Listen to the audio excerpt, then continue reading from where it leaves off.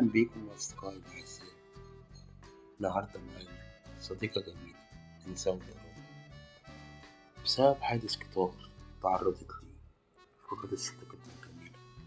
سقايا الاتنين وبإرادة قوية وبإرادة قوية تتحدى صديقتنا الجميلة الإعاقة صديقتنا الجميلة نموذج جميل للمرأة القوية لقوة إرادتها وعزيمتها. رفضت الاستسلام للإعاقة رغم كل التحديات اللي بتمر بيها وبتواجه الإعاقة بكل شجاعة وعزيمة وإصرار. صديقتنا الجميلة رغم كل التحديات ورغم كل الإعاقات بتعيش حياتها وتمارس أنشطتها اليومية بكل شجاعة.